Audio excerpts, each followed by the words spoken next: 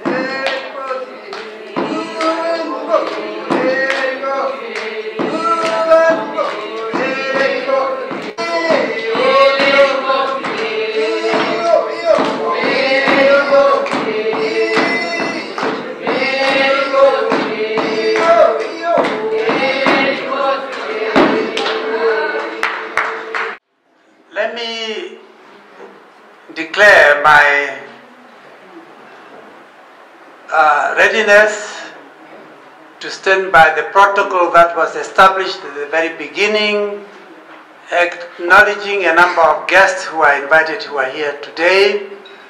I'm delighted that uh, we have a number of good friends who have come to join this event from different corners of the country, representing a number of institutions, including our friend from all the way from the Ndonga Royal House, our friends from South Africa, from the South African High Commission, our close neighbor, who have devoted extra time, walking extra mile to bring about a gathering of this kind.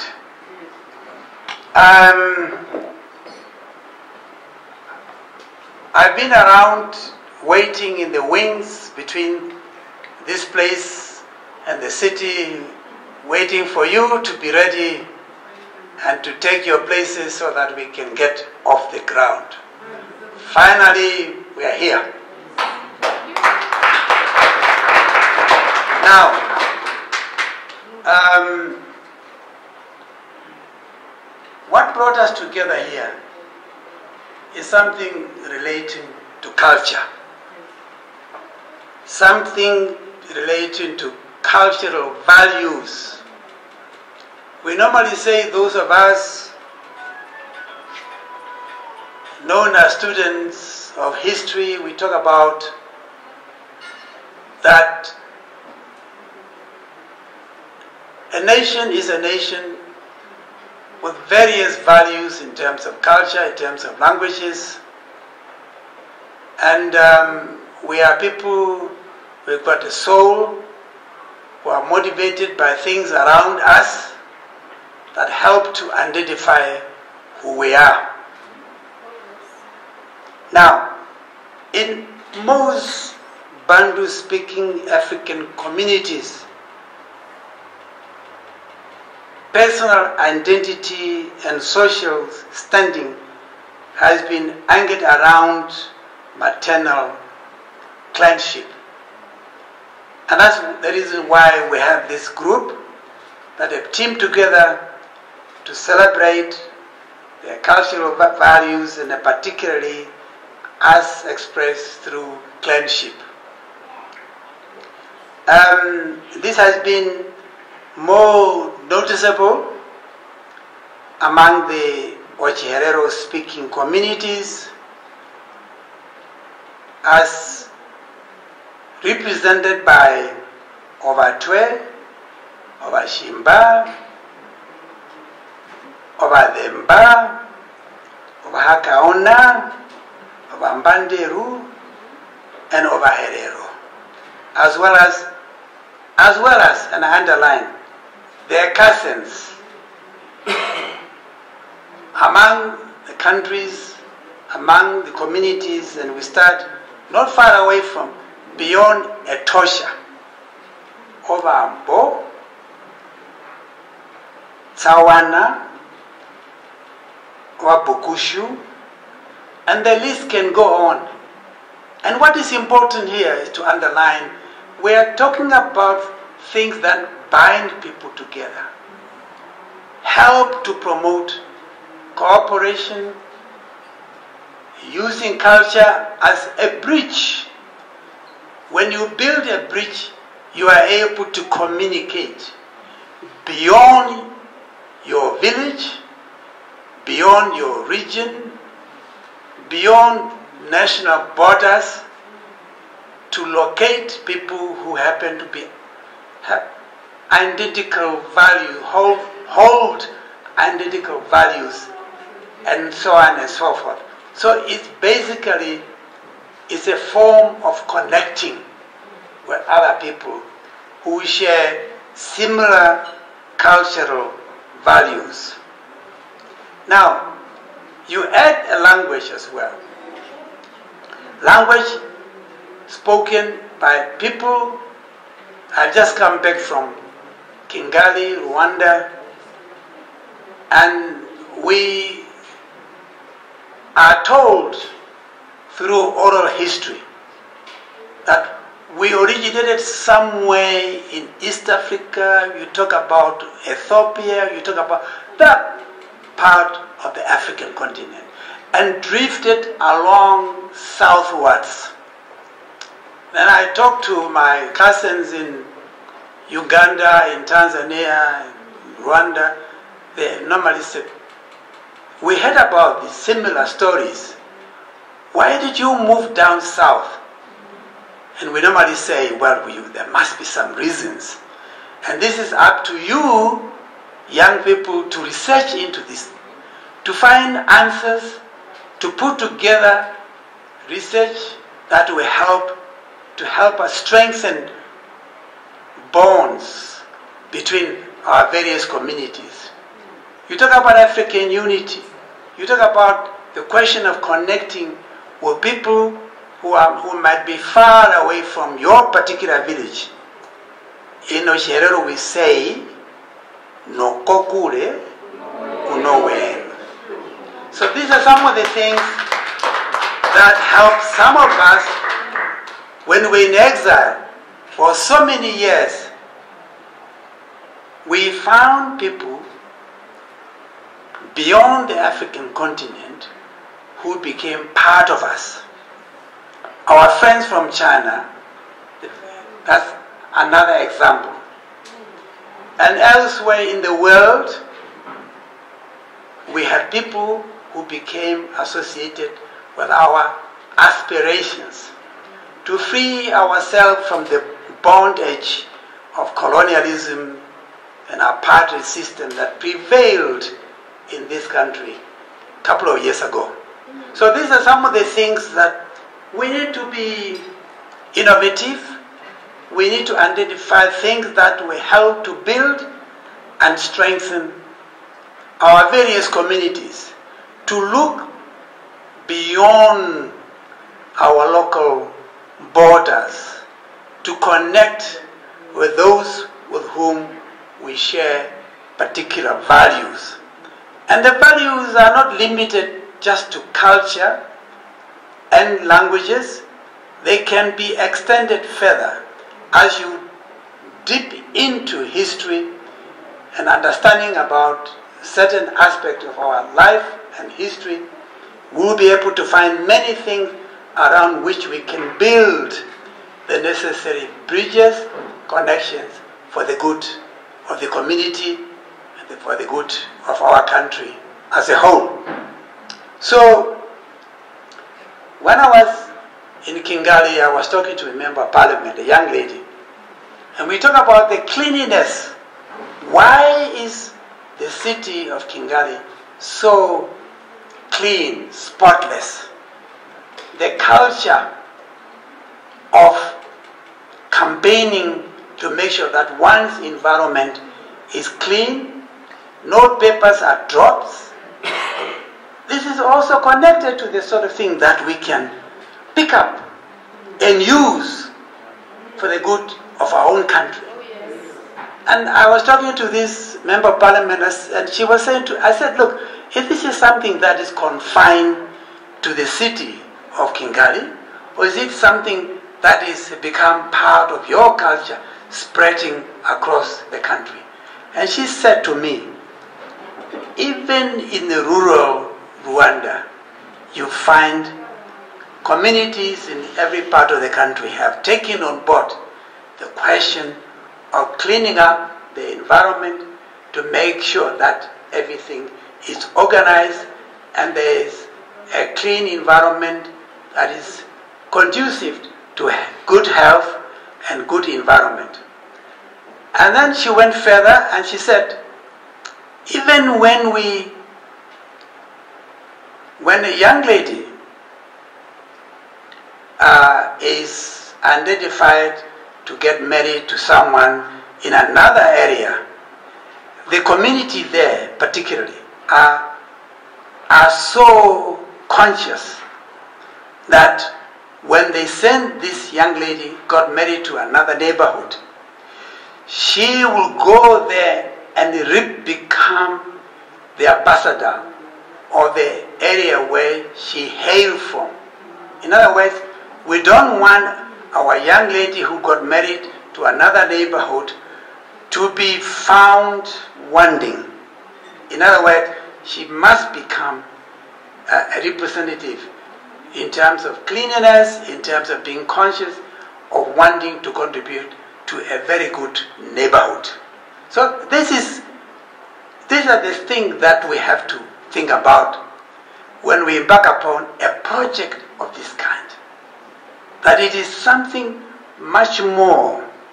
It, it, it connects with education, with health, with so many other things that add, are able to add values to our well-being as a nation, as a country. So, in this case, the question when a young man whisper to his parents, in the case of one's paternal aunt, Hongave, hmm, representing the maternal side, that is when the ball starts moving.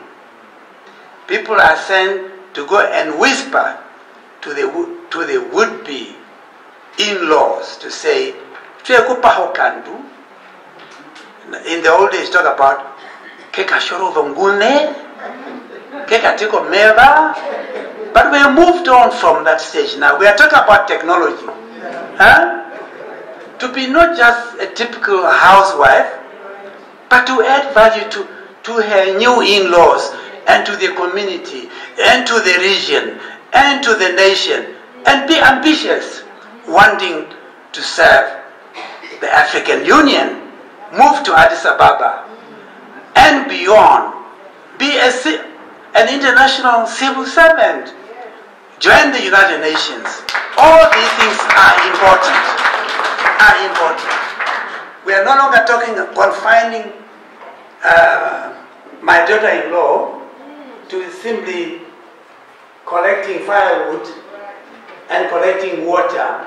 We want my daughter-in-law to become somebody who can contribute decisively to nation building and to be an agent of change. In other words, not be confined. We talk about women's empowerment, women's emancipation. We talk about all these things that are important in building one Namibia, one nation. So these are some of the things that we have to revisit with a clear mind that our Ovakwauti clan is has got an agenda that we want to communicate to government institutions to say we are an, agenda for change to inspire and to, to make sure that we have a clear agenda about the girl child, never to be left behind. Oh, These are some of the things that have kept our women behind. And it got something to do with the history, the history of our country, not just Namibia, we're talking about the African continent. That's why all these ideas were revisited to make sure that we contribute decisively to mobilizing our country and make sure that we march together. We march together. And we talk about having your, your wife not behind you, but beside you. All these things are things that are deliberately thought about to make sure that we contribute to the strengthening and building a nation that moved with time and committed to a very clearly defined agenda. In this respect, in the first instance, the question would be who are the mothers and maternal uncles of the bride to be? Mwashe ina novongundwe dhomukaona owani. We had to, to look for that and we are basically doing this in order to build a network a network of support we become one. Huh? we become one. And um, sometimes I also say to my to my sons and say, yes, Perivi Pashi, uh, and say, um, you remember, you have to tell me who is this young lady you you are visiting. She might be related and might be even a sister. So you have to inform me. This is my way of trying to control the situation to make sure that uh, uh, we got to be serious. I don't want to interfere too much nowadays. We are living in the 21st century, not like in the old days where we controlled everything. But it's all about really wanting to ensure that there is stability. I'm not going to pretend to you. With my daughters as well, the same thing. I mean, you know, I'm very particular, I'm much more conservative than my late wife. He was a bit more liberal and willing to let things drift on. I am the one who put the brake on. Yeah?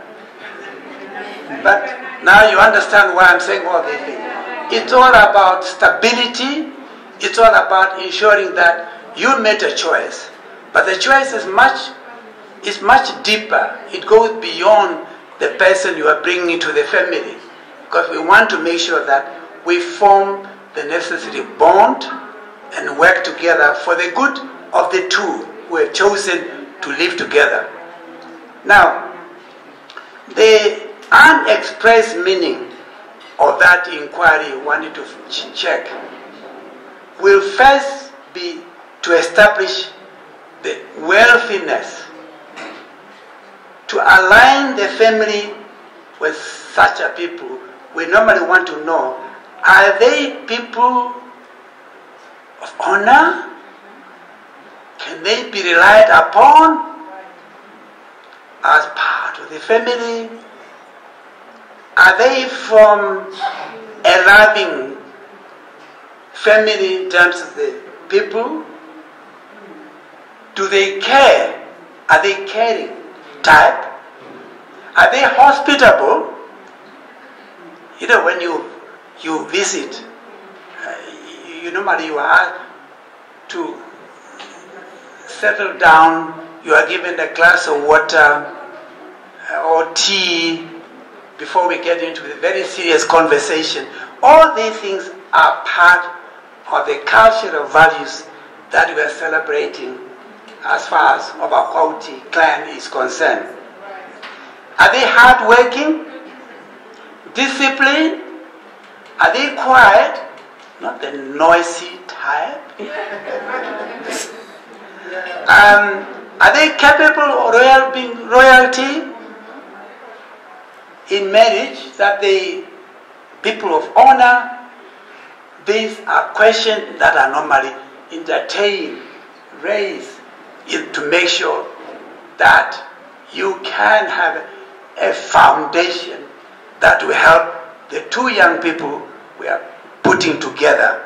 So I'm basically saying this is why people talk about the need to make sure that we, the, fam- the two families, will begin to understand each other. I'm, I'm, I might be overdoing it a bit, but bear with me.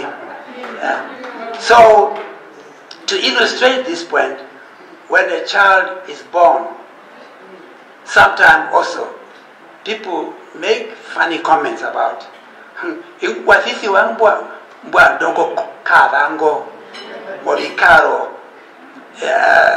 uh, they, you are you are mocked that you resemble your maternal uncle's behavior. If if people know each other say, oh that one. Ingwengo omuthengo mulumene kwenda mucho ombonganda njo. Yeah? people say these things but these are things sometimes they become part of, of the way how people identify people mark them and so on. And uh, why we want the best we want to make sure that we build on a firm foundation and these are things that we cannot run away from. They become part of our values that we hold dear to ourselves. I, I'm not coming to the point why I'm here. I've been requested to come here. I was therefore very happy to be invited to move away from the place where I'm working where I'm preoccupied with keeping rules and order and asking grown-up people with gray hair to keep order. We only allow one person.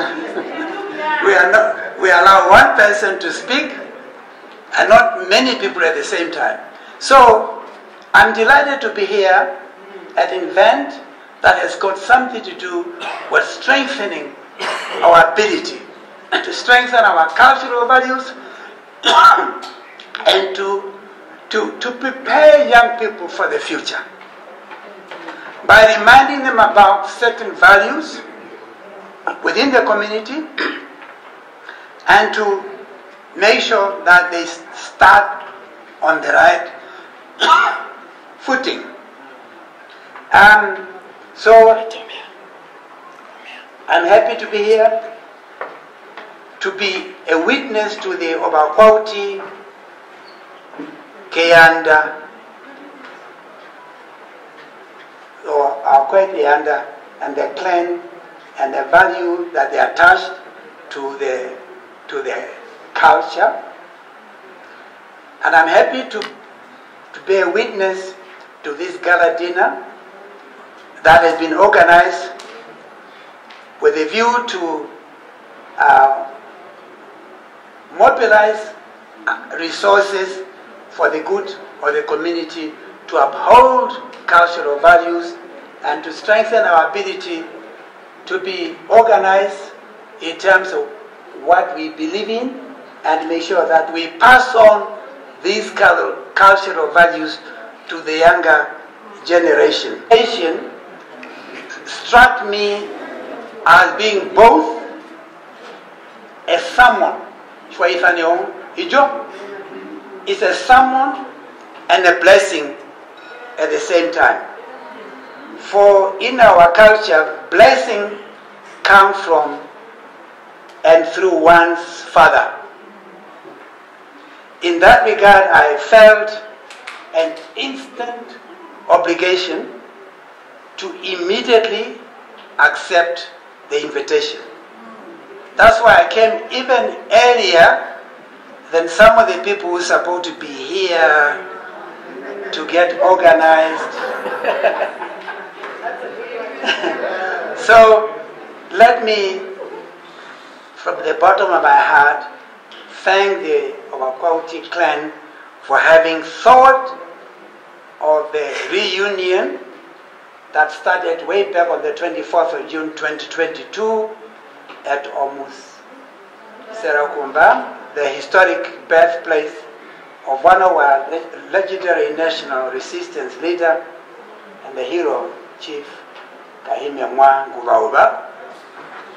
I was also informed that when this clan converged at, at that particular place, their main concern was to use their clan to rekindle, revive the unity with other Namibians in, in kinship and to promote the unity and identity in diversity across all communities with whom they share common age in terms of the clan and the values they attach to their particular clan.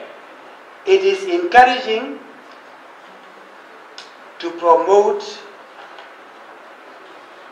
and do everything to enhance our destiny in harmony. Cultural values provide that framework of helping to remind us where we have come from and where we are going. We are people with deep roots. We have come a long way, and this is the sort of thing that kept us, kept us going with determination and commitment to tell the story about our history, where we come from, and why it is important to preserve what we have. I understand that the clan has more laudable social activities such as a mooted extra, extra cultural expo to showcase culture and heritage that will encourage various groups to present their cuisine, traditional attires, We've seen them tonight. And many other things that we have not even thought of, that we still have to research on in order to find them and list them so that we can increase a better understanding about our history and our past.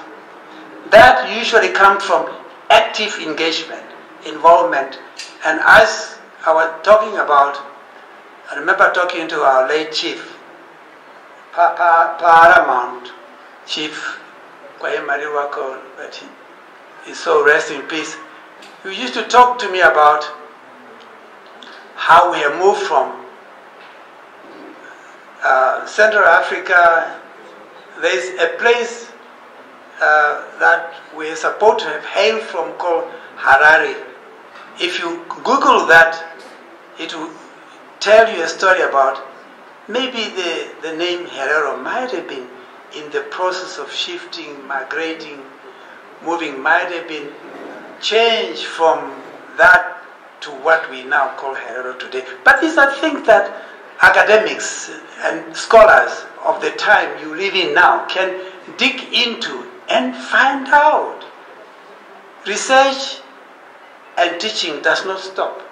It's a continuous process that we have to engage in to discover more things that we did not know. And that is not something to be done overnight. It's ongoing and it's part of the process of strengthening the identity of the community. So, uh, you have set yourself an agenda. I also see the fact that um, you are truly committed, and it is therefore I'm happy to see our various traditional leaders having come from far, and particularly our good friends from the Ondonga community who are here, with whom we have a strong affinity that we all know that they've been part and parcel of the connection. During the uprising, 1904, 1908, they were part and parcel of that resistance. From the other side of Etosha, and this is all facts that we can go into, discover. You can write academic uh, studies, you can do all sorts of things. It's the sky is the limit. So this is a project dealing with culture. That is the context, and there is still an opportunity to do more. I also see that the world is a village.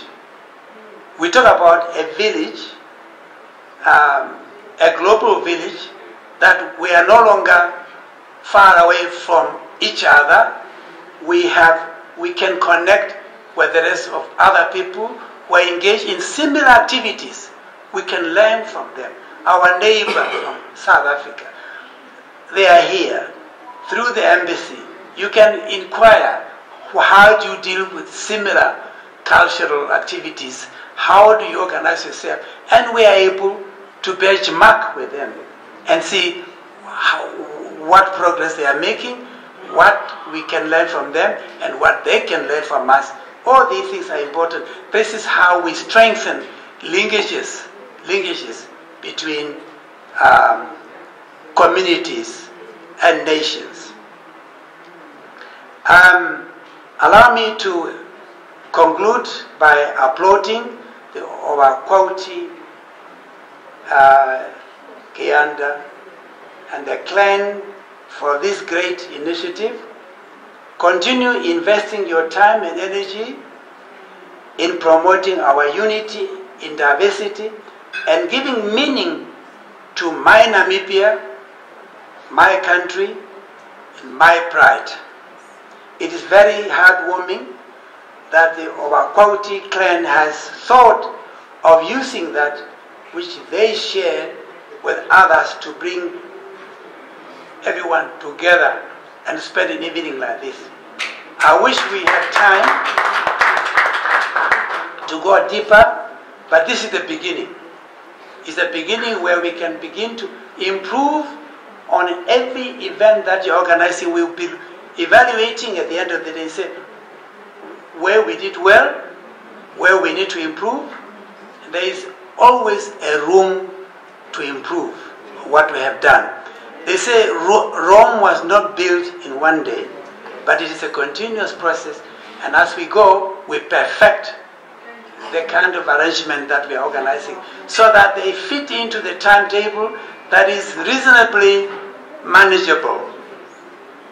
So, congratulations, well done, and I think uh, you made us proud.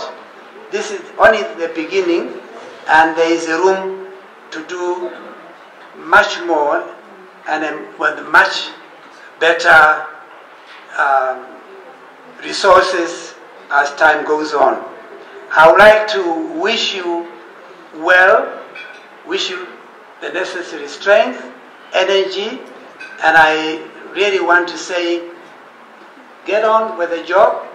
As you go on, we'll be behind you, we'll assist where we can, and I hope uh, this event are able to lay the necessary groundwork for further um, activities. Such support can be both in kind as well as um, with those who are able to donate financially directly. And I, I will be watching from where I am to see how, what progress you are making. May our Kwauchiki and uh, clan gala dinner be a great success for all, all, all of us. And enjoy the evening.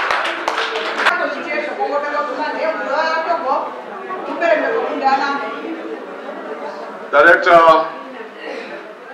of Proceedings, thanks very much for the opportunity.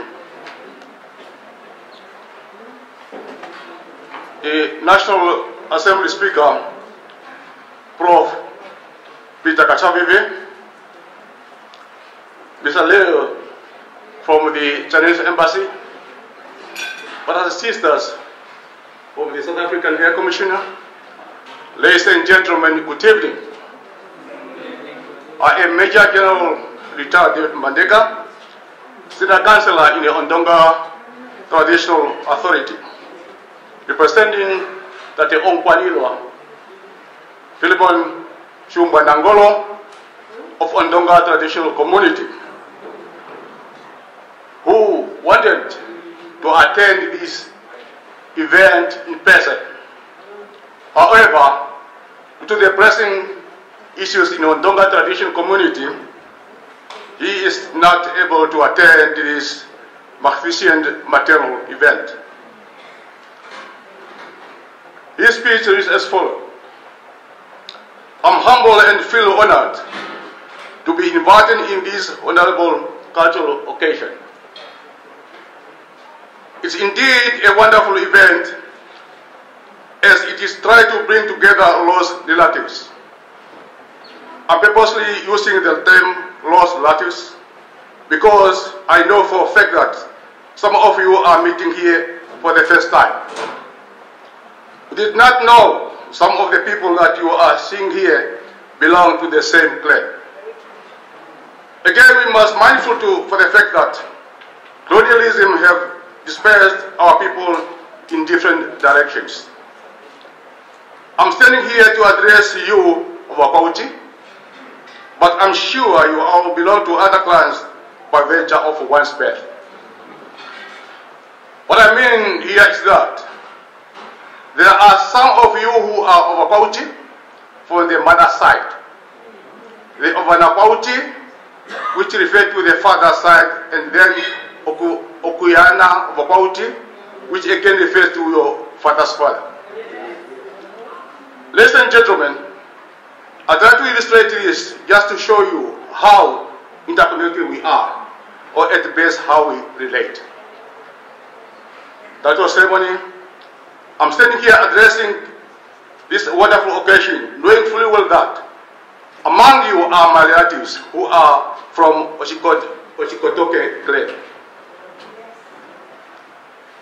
Events like these are always air opener in the sense that they bring people together, enabling them to trace one another for acceptance by his or her relatives clan. Ladies and gentlemen, we are gathered here as a clan. Believe me, a gathering like this is a beautiful one, and a way of bringing harmony amongst our people, and which, which goes down to the eradicate tribalism, it is brings a distant relative together, who by then did not know that they are related.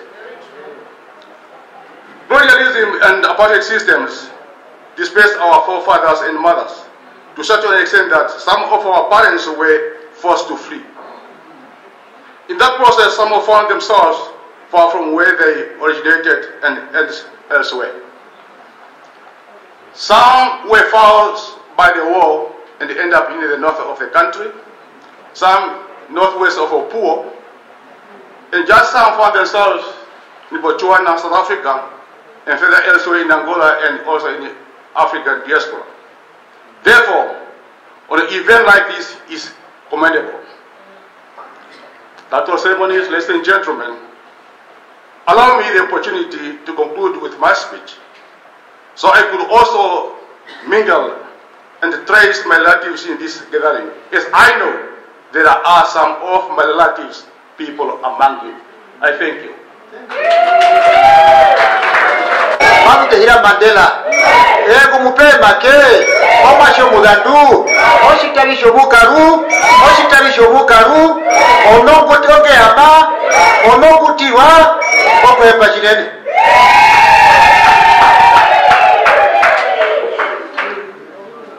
Thank, thank you, MC of the ceremony. Honorable Professor Peter Kaja Vivi, Major General Mbandeka.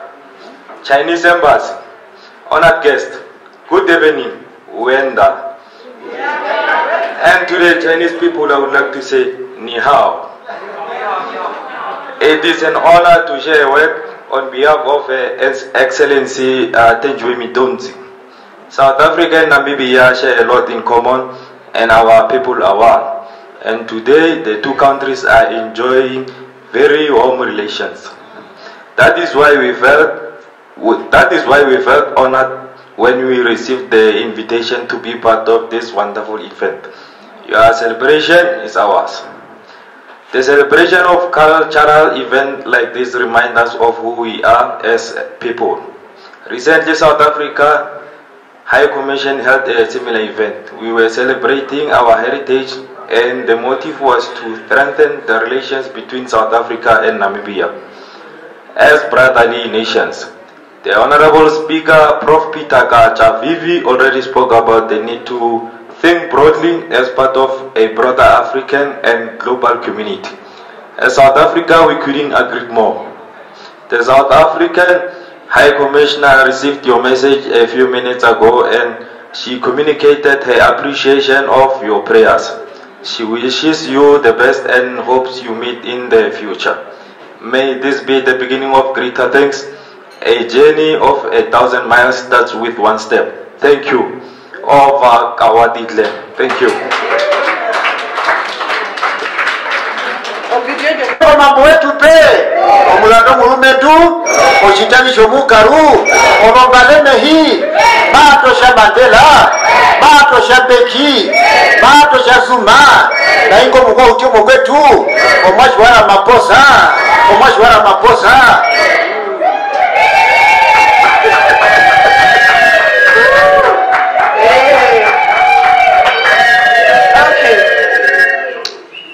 Thank you, thank you. What a profound event.